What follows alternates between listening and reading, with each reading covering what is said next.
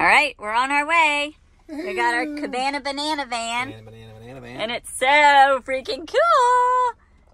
There's where we're going to be sleeping and our sink and our showers just behind that door. We haven't unpacked yet. Everything's like everywhere. But we went to a delicious store called PCC Markets and it's like Whole Foods and it's incredible. And we're here and that's it. We'll keep you updated on our travels. Bye.